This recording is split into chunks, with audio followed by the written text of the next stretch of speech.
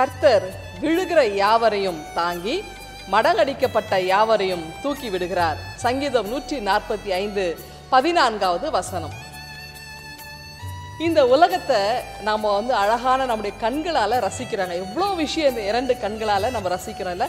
ஒவ்வொன்றாய் பார்க்கிறோம். எவ்வளவு பொருட்களை பார்க்குறோம். எவ்வளவு காரியங்களை நம்ம வந்து நம்முடைய கண்களால் பார்த்து ரசித்து இந்த உலகத்துடைய அழகை நம்ம வந்து அனுபவிக்கிறோம். இல்லையா? ஆனால் இந்த கண்களை விட க- உலகத்தை காண்கிற இந்த கண்களை விட இந்த கண்களிலே தேங்கி இருக்கிற கண்ணீருக்கு அதிகமான மதிப்பு இருக்குது.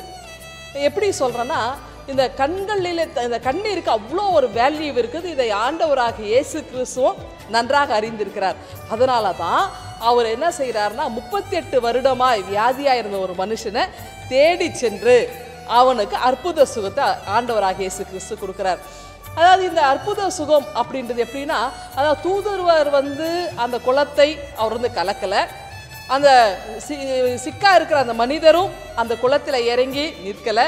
தண்ணீரை தொடாமலேயே குளம் கலக்கப்படாமலேயே ஒரு மனிதருக்கு ஜீவ தண்ணீராக இருக்கிற ஆண்டவராக இயேசு கிறிஸ்து அற்புத சுகத்தை கொடுக்கிறத நாம் பார்க்குறாங்க அப்போது அந்த மனிதர் எவ்வளோ அழுதுருப்பார்ல மக்கள் எல்லாம் அவரை ஒரு அற்பமாக நினைச்சாங்க.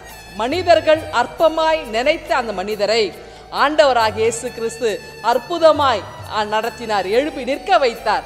அப்போ நம்ம வாழ்க்கையில விழுவது அப்படின்றது அதோடு விழுந்து நம்முடைய வாழ்வு முடிந்து போவதில்லை. விழுவது என்பது எழுவதற்காக நம்ம மீண்டுமாய் எழுமி நிற்போம். இந்த நம்பிக்கையை தான் ஆண்டவராக இயேசு கிறிஸ்து அன்றைக்கு அந்த மனிதருக்கு கொடுத்தார். இப்போ நம்ம வாழ்க்கையில கூட ஆண்டவர் நமக்கு அற்புத சுகத்தை கொடுக்க போகிறார். அற்புதமாய் நம்மை நடத்த போகிறார். எந்த இடத்துல நம்ம விழுந்தோமோ எந்த இடத்துல நாம் வேதனைகளையும் அவமானங்களை நாம் அனுபவித்தோமோ அந்த இடத்திலே ஆண்டவர் நம்மை சுகமாய் நடத்த போகிறார். பிரியமானவர் ஒரு விஷயத்தை நீங்க புரிஞ்சுக்கங்க.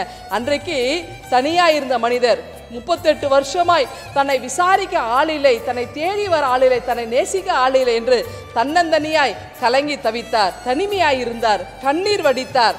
ஆனால் ஆண்டவர் அவரை தேடி சென்று அன்றைக்கு அவருடைய வாழ்வை மாற்றி அமைத்து நிற்க நிமிர்ந்து நடக்க ஆண்டவர் வைத்தார்ல. அப்படி நிமிர்ந்து நடக்க செய்த ஆண்டவர் இன்றைக்கு உங்க வாழ்வில் வருகிற தோல்விகள் அவமானங்கள் கண்ணீர் வேதனைகள் இவைகளினுடைய எல்லாவற்றையும் கலைந்தெறிந்து இன்றைக்கு ஆண்டவர்களை தேடி வந்து உங்களை நிமிர்ந்து நடக்க செய்ய போகிறார். ஆகவே இந்த நம்பிக்கையோடு இந்த நாளை நீங்கள் துவங்குங்கள். கர்த்தர் உங்களை ஆசீர்வதித்து வழி நடத்துவாராக.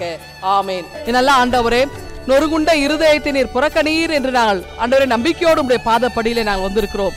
எங்களை ஆண்டவரே வருகின்ற சோர்வுகள் பலவீனங்கள் உடைந்து போகிற தருணங்கள் எல்லாவற்றிலும் நீர் உம்முடைய பலத்தின் ஆவியை கொண்டு கொண்டு எங்களை நீர் வழி நடத்துவீராக இயேசு கிறிஸ்துவின் வழியாக வேண்டிக் கொள்கிறோம் எங்கள் அன்பின் கடவுளே. ஆமீன். ஆண்டவர் உங்களை ஆசீர்வதிப்பாராக. ஆமீன்.